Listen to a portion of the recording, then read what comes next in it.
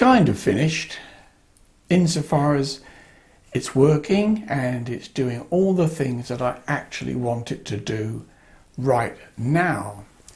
But saying that, I don't think it will ever be finished because as I've made this modular, if a new product comes out or something that I built that I want to test, I can very simply remove whatever it is going to replace and test it.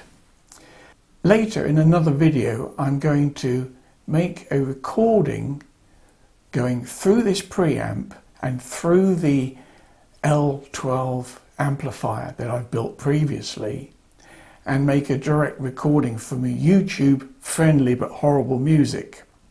And I'm going to do that by placing the um, recording on the speaker output of the amplifier so you will you will hear how it actually sounds with of course the reservations that YouTube are going to mess about with the sound and you're going to be listening to this on something which can be anything from a rather nasty phone to some decent hi-fi.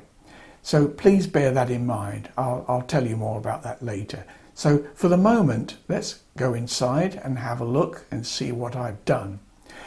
Now, there are a couple of things I need to point out before we start. The potentiometer behind the volume control here is a temporary one because if you've tried to order anything from China of late, you'll know that the delivery is horrendously long. Um, in some cases, I've been waiting two and a half months. The wiring inside around the volume pot is temporary. So anything that looks neat is semi-permanent and anything that looks like a bird's nest is work in progress. So bear that in mind, please. Now this is an overview of the ingredients and if I zoom up slightly this is the valve bases and the whole thing just swivels out on this umbilical lead which again I have to change because it's a little bit too stiff and the effect of that is it doesn't go where I want it to when I shut the thing up so I'm going to remove the sleeving on here and just use the, the wires um, tie wrapped together. So it'll be the same, but it will be the wires rather than the sleeving because the sleeving is very stiff on this. Now, one of the main things I've changed on this since we last spoke, this module here was going to be, and, and was until about two weeks ago, a Wi-Fi module. No, it wasn't. oh dear. I'll delete this bit. Um, this module was previously going to be a Bluetooth module. But one night I was thinking to myself, why have I got a Bluetooth module in there? Because A, I will, I will never be connecting my telephone to this. And I couldn't think of any reason why I would have a Bluetooth module in there. It just doesn't make any sense to me because I wouldn't seriously dream of using music on a telephone to be played through my hi-fi. So that's gone. And in its place, I've got the DAC, which again, we've talked about in previous um, episodes. Now I've connected this. This is the optical input and there's a socket on there on the back. And also along here, I've connected the coaxial input to this particular phono and that's the input. So I've got a choice of optical or coaxial input on the DAC. And most of the time, that's what I've been using, and it does sound really good. This is the high voltage booster for the HT for the Magic Eye, and that is as it always was. The only thing I've done is I've added a heatsink to it because that um, transistor, which is basically the oscillator. Well, actually, it's the, it's the sort of power amplifier of the oscillator, if that makes sense. Um, does get quite hot, and in my opinion, um, too hot, insofar as you can touch it, but you can't hold your finger on it for very long. And I, I firmly believe electronics that runs hot is going to be a problem in the future. So I put that heatsink on there and the heatsink now when you touch it is nicely warm but it's really the biggest I could put there and it still sort of makes sense. I've retained the two transformers that I originally put in here.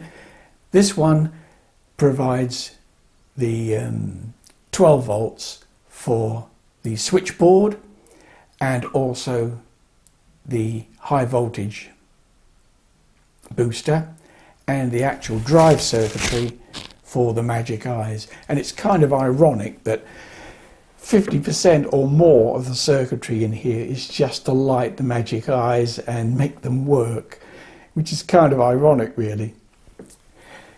Something else that I've added here is this little board here.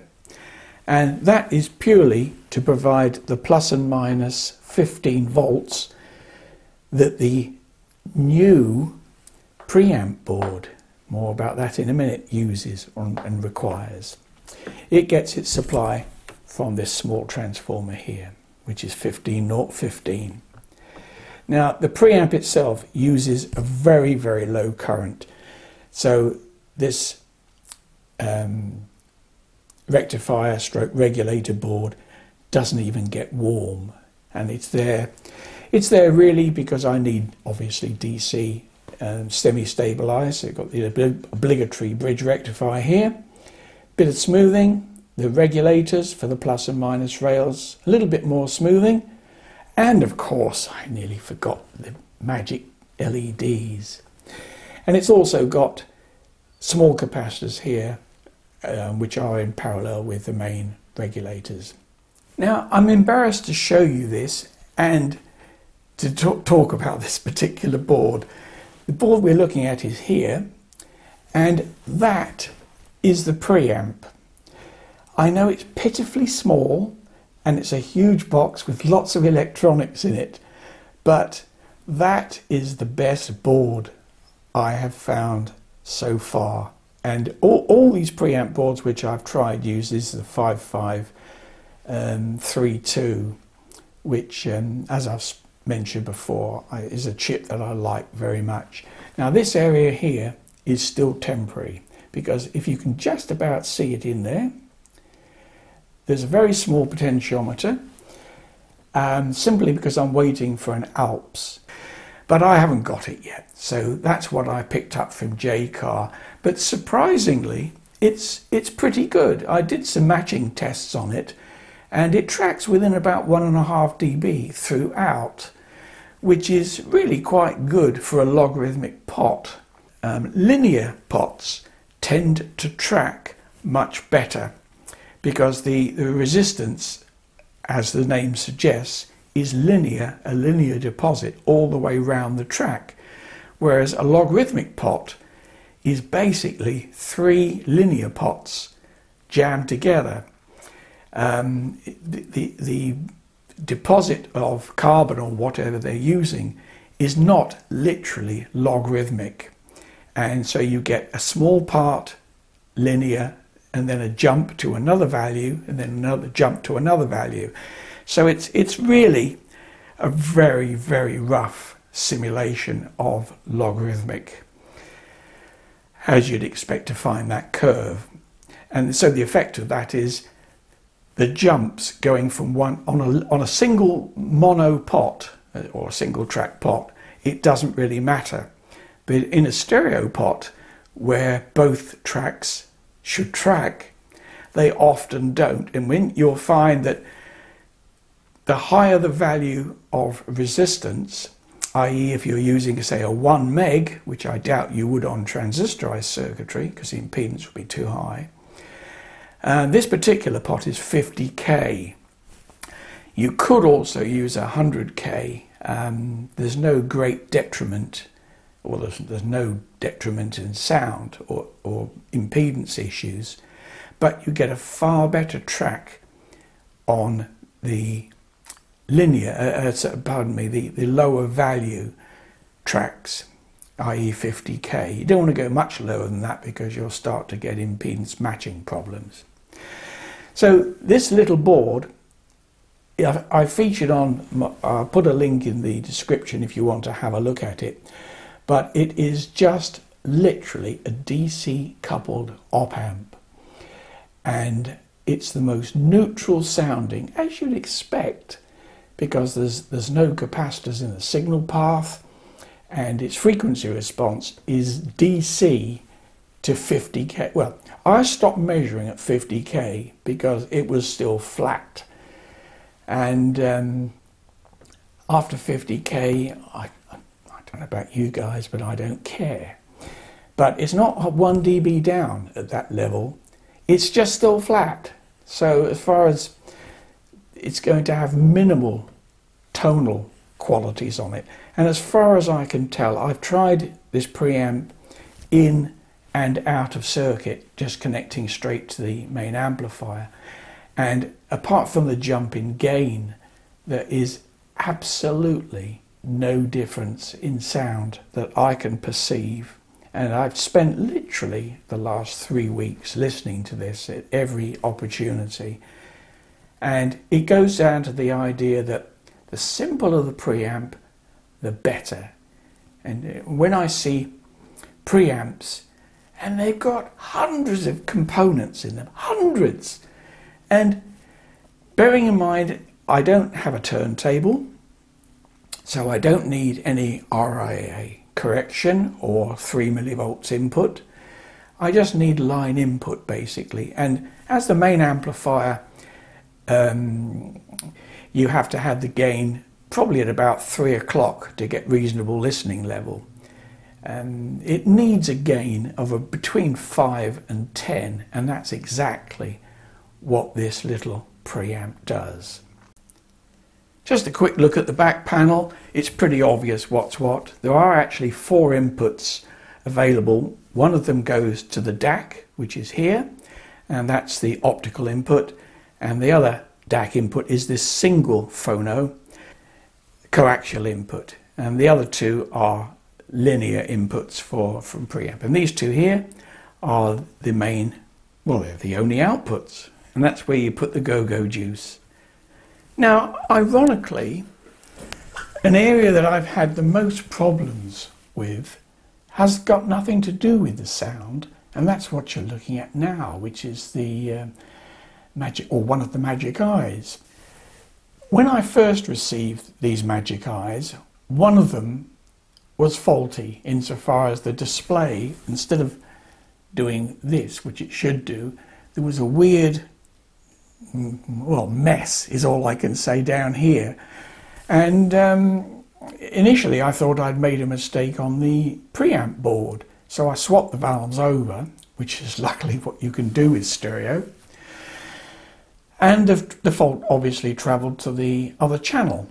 So clearly I had a faulty valve and I must say that the supplier of the Magic Eye project um, parts supplied me a replacement very quickly.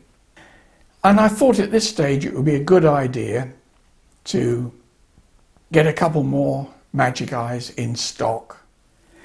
So this is my stash of Magic Eyes. These are the two that came with one of the kits that I bought. This is the kit, although it's not actually a kit, it's um, um, already assembled. And you just break the board down the middle if you want to mount them separately. Now, the only problem with this board is it doesn't have any um, boost on it. You literally have to feed in 250 volts DC and obviously the 6.3 volts for the heaters. But the reason I've ended up with this is simply I wanted two replacement valves, um, but it's cheaper to buy this kit with these boards than it is to buy the two valves separately, which Uh, doesn't make any sense to me, but I thought, well, there's some useful components on there I might be able to salvage. Now, I hope I can hold this in focus. But look at this pot. It's never ever been put into the PCB. There's no solder on it. And needless to say, it wouldn't work. Now, that hasn't bothered me particularly because I didn't want it to work. I just wanted the valve holders and the spare valves. But it, this is just another example of crap from China. It clearly can't have been tested and clearly hasn't been inspected. Also, when I got this kit, one of the valves had an internal short circuit on it. What happens is when you plug it in and the display opens up and it starts to work, and all of a sudden there's a slight ting and the display shuts completely and it draws too much current and it drop makes the HT drop to about 150 volts and makes the regulator really hot. And I can't show you one here because I've fixed it now but inside where the wires come from the pins they were just too close. And as the valve heated up it sort of expanded and then touched and short circuited it and eventually it welded itself together and the valve was useless.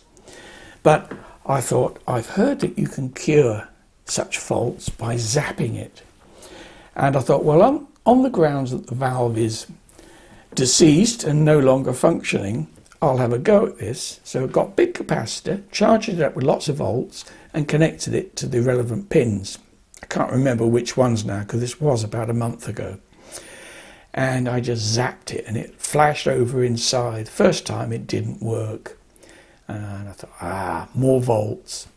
So I put on about 300 volts DC and charged up this capacitor and zapped it again. And lo and behold, it's now perfectly functioning.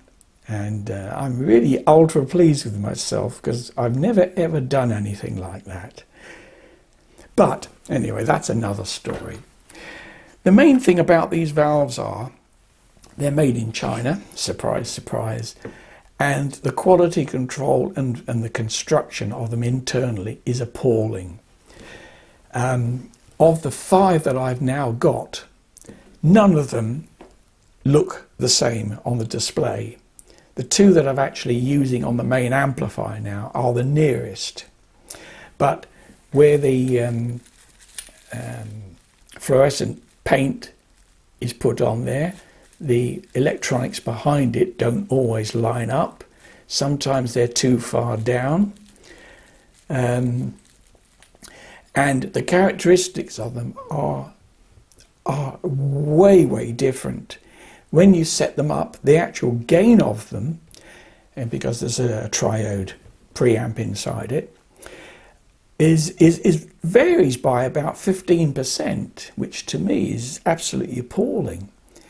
Um, and the actual look of the display varies tremendously. You can see this one here. The phosphor goes well into the black area of, of the valve as opposed to this one where it clearly goes right the way round and the black area is behind it. So that means on this one you get a shadow. Should take it out of the bag really, shouldn't I?